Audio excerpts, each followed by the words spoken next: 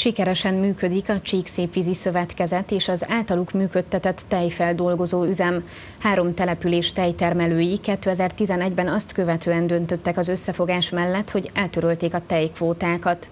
A Szépvízi üzem azóta több tíz család számára biztosít megélhetést. Ferenc Szilárd sajtmester a Csíkszépvízi tejfeldolgozó üzem munkafolyamatait mutatja nekünk.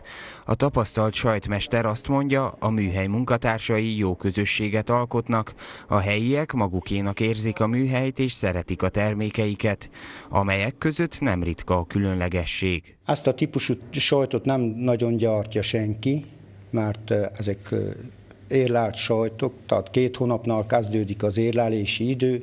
Ez egy anyagi tárhat jelent annak, aki ezt a típusú sajtot gyártja, mert ugye a, a, a pénz áll a sajtba két hónapot vagy két hónapnál többet. A műhely nem csak a helyi szarvasmarha állomány megmentését, hanem a termelők fejlődését is biztosítja, mondja Szakács Vilmos, a Borzsovai Szarvasmarha Tartó Egyesület vezetője.